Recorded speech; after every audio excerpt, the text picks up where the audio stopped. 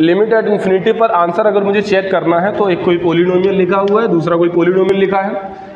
अगर एन और एम ऊपर नीचे वाली मैक्सिमम पावर बराबर है तो a naught upon b naught अगर ऊपर वाली पावर बड़ी है, नीचे वाली पावर से।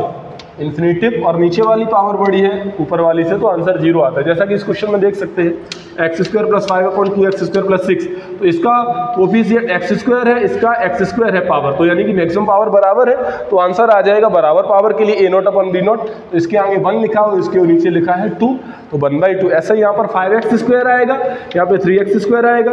बाकी पावर छोटी हो जाएँगी तो फाइव अपॉन थ्री आंसर आ जाएगा। बाकी आप ऐसे देख सकते हो।